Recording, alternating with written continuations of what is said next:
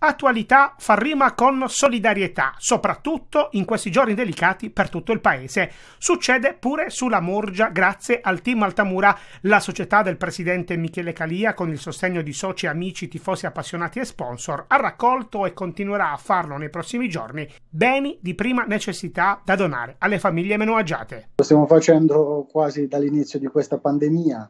Eh, chiunque volesse partecipare a ricevere beni o venirle a prendere direttamente, può direttamente scrivere sulla pagina Facebook eh, della team Altamura.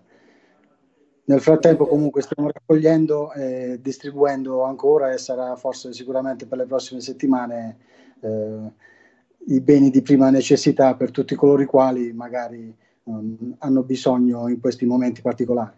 L'attualità invece non fa rima con calcio giocato. Il team Altamura al momento dell'interruzione con otto giornate al termine della stagione regolare occupava l'undicesima posizione in classifica con 32 punti all'attivo, 3 di vantaggio sulla zona playout. Il nostro obiettivo era salvarci e credo che fino all'ultima giornata di gioco eravamo in piena salvezza. L'unico rammarico magari che nelle prime 6-7 giornate potevamo fare più punti, eh, abbiamo, fatto troppo, abbiamo fatto troppi pareggi che magari non meritavamo eh, ricordo quello di Francavilla con il gol all'ultimo minuto, eh, molte altre partite, però alla fine l'obiettivo era quello di salvarci e fare bene, credo che lo stavamo facendo alla grande. Sguardo poi rivolto al futuro. Spero di ripartire e riconfermare bene o male tutta la rosa di quest'anno innanzitutto.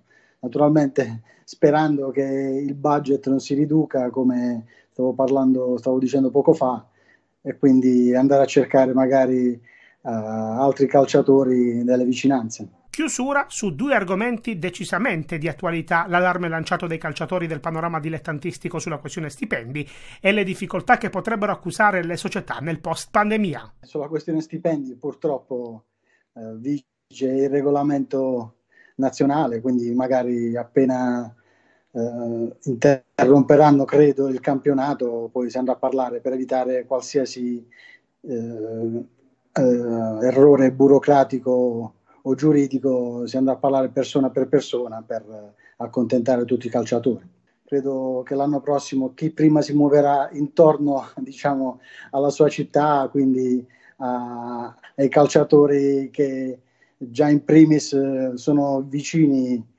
a evitare vitti, alloggi e spese varie per cercare di ridurre al massimo il budget della società che sicuramente visti le tante aziende che non producono, bar, ristoranti chiusi, uh, sicuramente daranno, lo daranno sempre come è successo in tutti gli anni, ma sicuramente sarà molto meno.